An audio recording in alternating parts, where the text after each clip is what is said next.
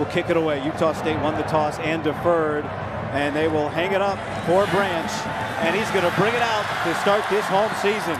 And he gets cut down. Good coverage by Utah State. A big play from Bronson Olival. And here comes Miller Moss in this first quarter. Miller Moss. Long throw to Zachariah Branch. Get him in space. Slip away from one. And it takes five to bring him down. That's where it's going to get called all season. Zachariah Branch with half the defense chasing him.